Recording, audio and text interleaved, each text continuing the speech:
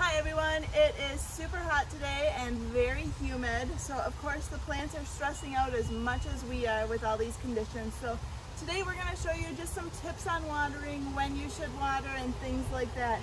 Um, I know with everyone's schedule it's hard to get water at the certain times, but if you can water early in the morning, that is your best bet that you can do. Um, if you can water later in the evening, that is perfect as well too. You just don't want to water harsh days like today, like right now. We're mid-afternoon, I think, pretty close to it. So definitely you don't want to water during that time. And it's very, very hot out here today.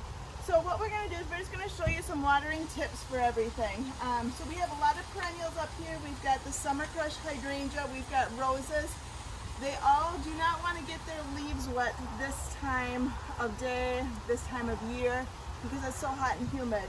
If you get their leaves wet, and that water stays on there because there's so much moisture in the atmosphere, that can cause a lot of fungus or spots. So we're going to kind of show you how to prevent that.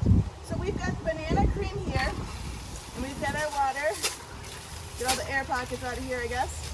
And so basically what we're going to do is we're just going to fill this completely up. Now, if it was in the ground, it probably counts about 10, 15 seconds and move to the next. Next, we've got the um, salsa red coneflower. Again, I'm just filling the pot up completely.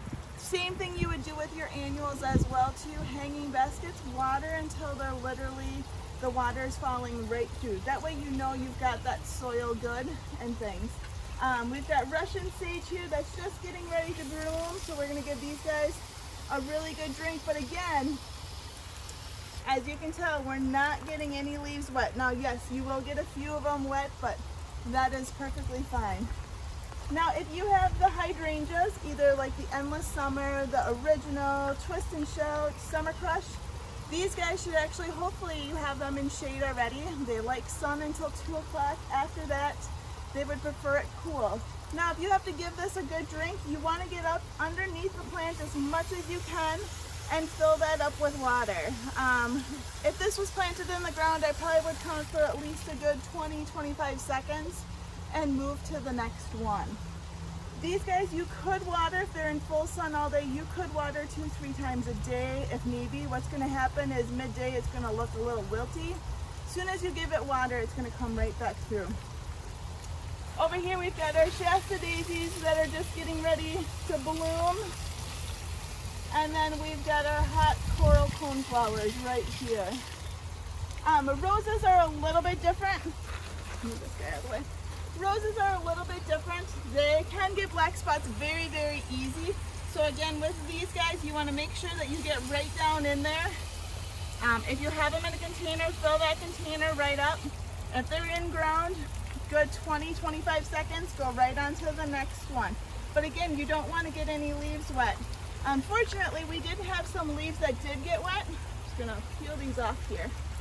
And this is what can happen, okay? So you can get leaf spot like this. This is called like a fungus. And a lot of times it's with watering and things like that. Does it hurt the plant? Not at all.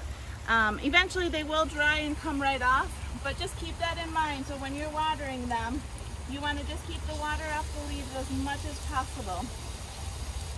Well, I hope everyone enjoyed that. Make sure you guys get out and water for the next few days. Um, another question we get a lot of is, if it rains two, three inches, can I not water for three, four days?